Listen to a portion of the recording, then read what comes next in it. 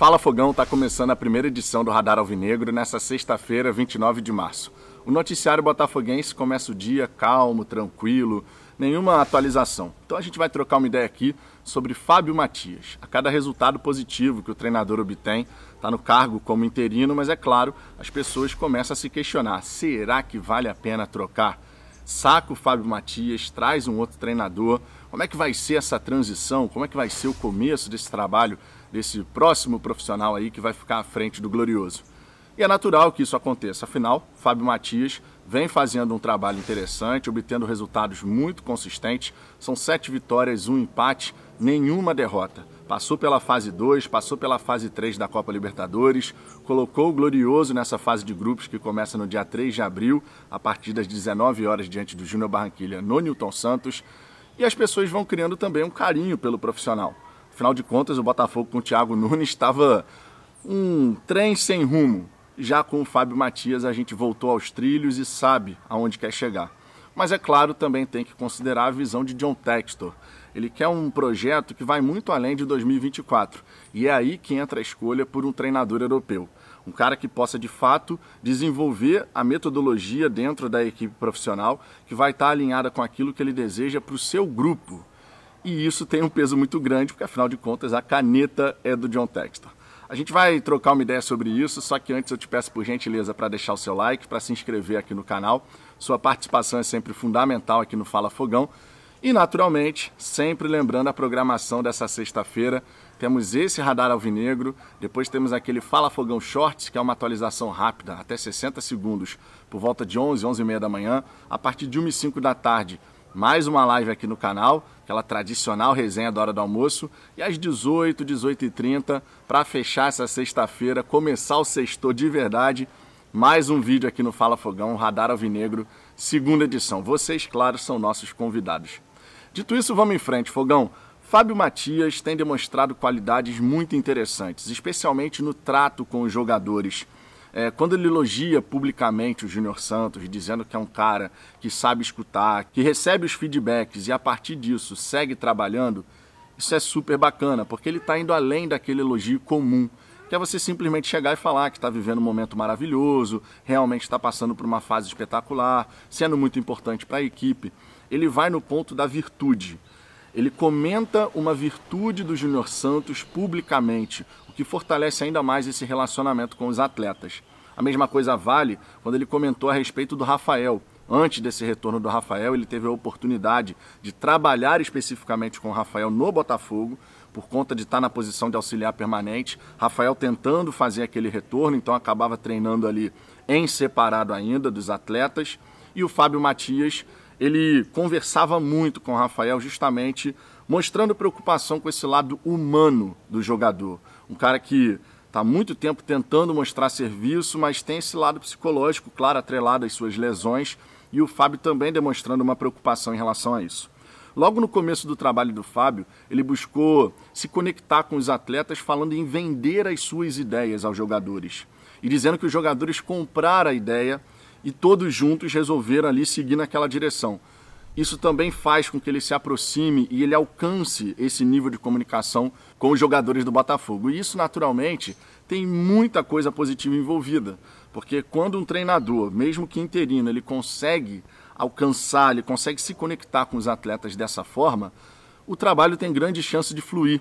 E é por isso mesmo que a gente fala aqui no canal toda hora que o próximo técnico do Botafogo, esse profissional que o John Textor quer contratar, ele precisa chegar com a humildade e sabedoria de poder chegar, trocar várias ideias com o Fábio Matias, entender como que ele fez essa volta aos trilhos do Botafogo, para que o trabalho desse próximo profissional que vai ficar à frente do Glorioso, ele realmente dê frutos, ele comece muito bem. Não dá para a gente imaginar aqui que vai começar exatamente como o Fábio Matias, até porque o início de trabalho desse próximo treinador vai ser num nível competitivo muito acima do que o Fábio teve que lidar. A gente está falando de campeonato carioca versus Campeonato Brasileiro, Copa Libertadores, fase de grupos. Claro, ele passou pela fase 2 e 3. Foi um adversário difícil, especialmente falando do Red Bull Bragantino. Conseguiu dois bons resultados. Vence em casa, empata fora, avança para a fase de grupos. Mas a gente sabe que, no geral, essas estatísticas do Fábio de sete vitórias, um empate, nenhuma derrota, tem o Campeonato Carioca como um elemento importante. Não sei como é que seria no Campeonato Brasileiro, numa Copa Libertadores fase de grupos, na Copa do Brasil, não sei. De verdade não sei. E a gente só vai ficar conjecturando porque não tem como cravar. Ah, aconteceria assim ou aconteceria assado. Porque realmente é um nível competitivo diferente. Então esse próximo profissional que chegar, ele pode ter um começo de oscilação. Isso é completamente natural, completamente esperado, inclusive. E aí entra o papel de paciência do torcedor. Porque vai haver comparativos? Com toda certeza vai. A gente sabe que vai. Vai chegar um treinador, de repente ele ganha uma, empata outra, e ganha e perde. Pode, pode ser dessa forma, não pode? E aí o, o, torcedor ele vai ter que ter realmente essa paciência, porque vão ter esses comparativos com o Fábio Matias, que no meu ponto de vista não vai caber, porque o contexto e o cenário que a gente vai ter para cada profissional chegando e assumindo o comando do Botafogo vai ser muito diferente. Eu gosto muito do trabalho do Fábio Matias, realmente gosto. Acho que é um profissional que tem muita capacidade, tem potencial, está fazendo essa transição base profissional e está aproveitando a oportunidade que apareceu. Mas eu também entendo que a temporada completa ela é repleta de nuances de momentos derradeiros, de momentos de grande pressão, que por diversas vezes um treinador mais experimentado ele pode saber lidar melhor com essa situação. O Fábio, na minha opinião, já que tem ambição de ser o treinador de uma equipe principal, ele vai conseguir trilhar esse caminho. Mas é interessante destacar que ele sabe e tem consciência de que esse passo, esse assumir uma equipe principal, ainda mais uma grande equipe do futebol brasileiro, ele precisa ser dado com muita cautela, ele precisa ser dado com muita parcimônia, porque afinal de contas, você precisa aproveitar de fato essa oportunidade. Não pode acontecer de você dar esse passo, ser efetivado, os resultados começam a oscilar e aí como é que acontece? Como é que fica depois disso? O Fábio ele já chegou a comentar sobre essa situação de amigos que foram fazer essa transição base profissional e que não conseguiram se estabelecer no nível de cima, né, na equipe principal. O Fábio tem capacidade para isso, mas é legal destacar essa, esse discernimento, essa consciência de que precisa ser um passo muito bem dado. Permanecer no Botafogo como auxiliar permanente, ajudando esse próximo treinador que vai chegar por conta desse desejo do técnico de reconstruir Botafogo Way, de fazer algo muito maior do que simplesmente ganhar o próximo jogo, para o Fábio Matias eu entendo que vai ser fundamental. Agora, é como o Ricardo já comentou ontem aqui na nossa live e em outras oportunidades também. Com o trabalho que o Fábio vem desenvolvendo à frente do Botafogo, os holofotes vão para cima dele. Não, não seria estranho se, começando o Campeonato Brasileiro, na primeira leva de demissões, que a gente sabe ocorre nas primeiras 5, 6, 7 rodadas, que de repente uma equipe dessas que vai brigar contra o rebaixamento possa se interessar na contratação do Fábio como um treinador efetivo, não como um auxiliar permanente.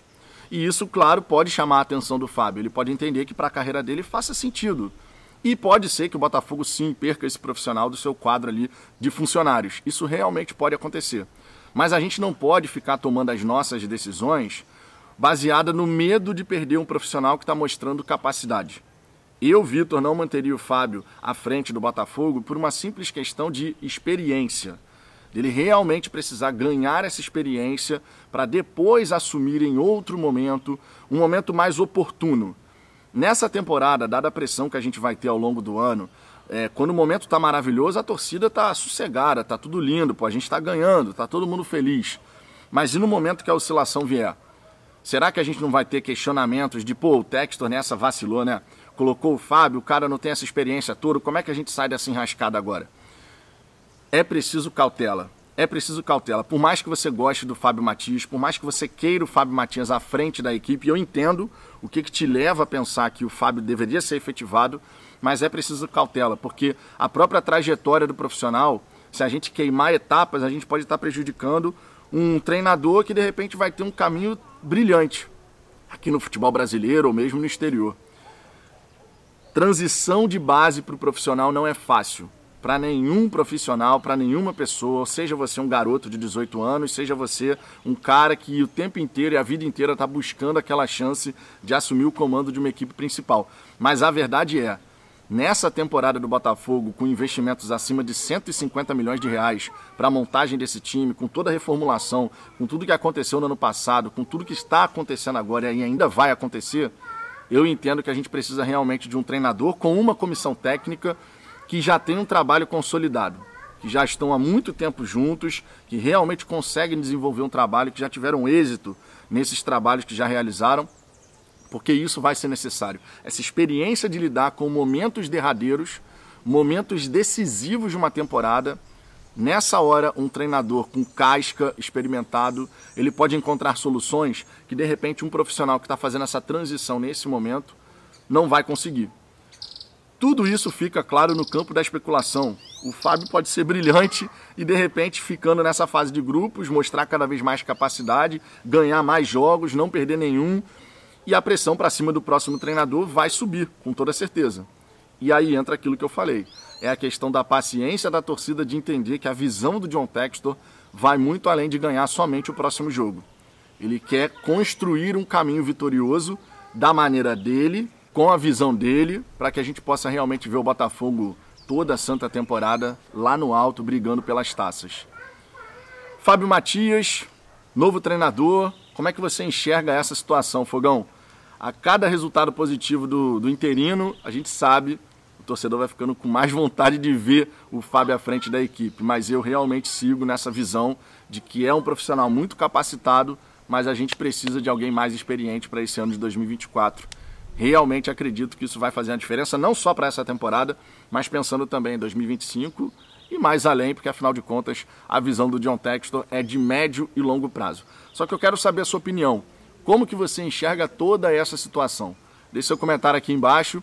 Sempre leio as mensagens, não consigo responder todo mundo, mas tenha certeza, a sua mensagem aqui no Fala Fogão é lida.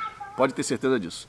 Na hora do almoço eu estou de volta e antes um pouquinho com aquele Fala Fogão Shorts, uma atualização rápida aqui para vocês. Fechou? Um grande abraço e até daqui a pouco.